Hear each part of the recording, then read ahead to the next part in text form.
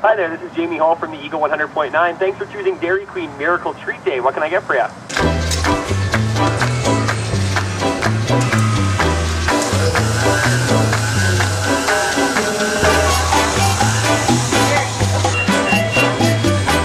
today is Miracle Treat Day. Can I tempt you with a blizzard? All proceeds go to the Children's Miracle Network. How much? Uh, all right, to about there. Just enough to start chatting. Yeah, absolutely. Now, if you go too far over, stop. Oh, okay. So you want it about midway.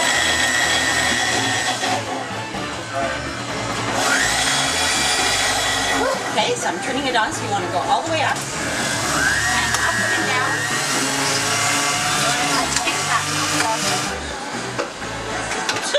There's a few of them. So I figured out how to open the door. That's the first step in order to uh, properly run the drive-through.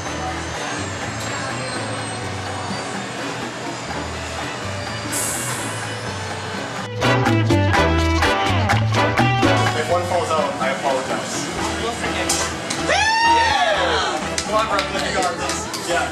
Yeah.